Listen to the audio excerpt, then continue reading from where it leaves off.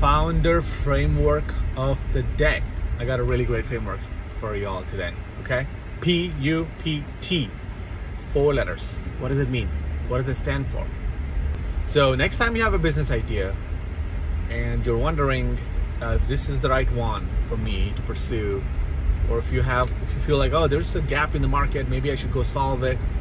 Use this framework to assess, you know, the the know, assess the idea to make sure that you are not wasting your time and money.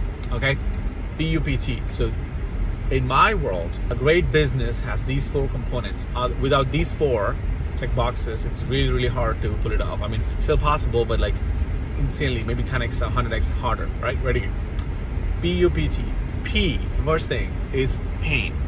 Is there a pain here, right? And now you can't make assumptions on this. You have to go talk to customers to ask them, is there a pain? Um, I also use the phrase unmet need interchangeably, so pain or unmet need. Sometimes this is obvious, sometimes it's not obvious, and uh, also this is the easiest thing to fall uh, into a trap into because you can assume a lot that there might be a pain here. It seems like painful, but no, you have to hear it from the mouth, uh, mouths of the customer. So there is a pain. So P is pain. Without pain, there's no business, in my view. Second thing is you. Use urgency. Is there an urgency to solve this particular pain point for the customer? Now, again, this is again, it's very, very hard to get this right. The best way to do it is talk to the customer and ask them on a scale of one to ten how urgent solving this is for them.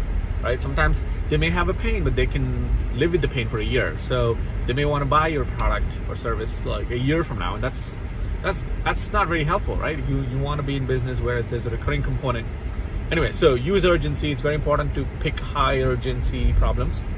All right, so PU. The third P is purchasing power. This is insanely, insanely important because without the P, the, the purchasing power, which means budget, which means like the disposable income, like whatever, you know, without money to throw at this pain that the customer is experiencing, there, this is all, you know, it's not charity, right? Like you, you can solve the problem for them, but like if they can't afford to pay it, or if their net worth is not that high, if they're like still scrambling, scrappy, and all that, it's gonna be hard. I made a mistake in this realm um, where I went after aspiring entrepreneurs, aspiring founders who were in the zero to one phase, and they don't have a lot of disposable cash to throw at their problems, so they just suffer and they just try to find scrappy ways to get out, get around it. But you know, they definitely are not, you know, shopping for products and services the way like somebody else might, right? So Third thing is P, purchasing power. And the best way to assess this is to look at their purchasing history and just ask them, hey, how much have you spent on solving this particular problem in a different way, right? Have you spent like 20 bucks a month or 100 bucks a month, 1,000 bucks a month, right? And it's all proportional to the net worth and how much, you know, the revenue they make in their business and things like that. But it's very, very important to get it right. The third thing is purchasing power. The last one is T, which is trust. Now, trust is key. Trust is sort of like almost the invisible magical force that closes the deal for you and for you know for for them.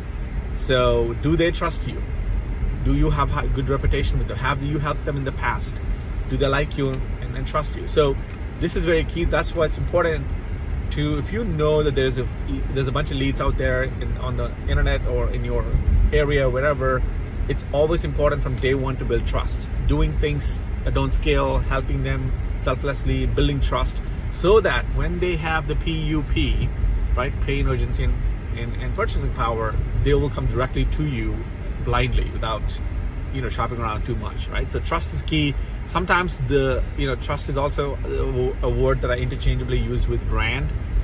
Uh, brand is key because you know if you see nike coke apple they all have brand. And what brand is really it's just accumulation of trust over the years right? If you go to the you know sneaker store and there's like 30 brands out there 30 companies sneakers trying to sell you but you you know that perception wise nike's higher up on the totem pole even though it's they're all shoes that's because nike has trust brand.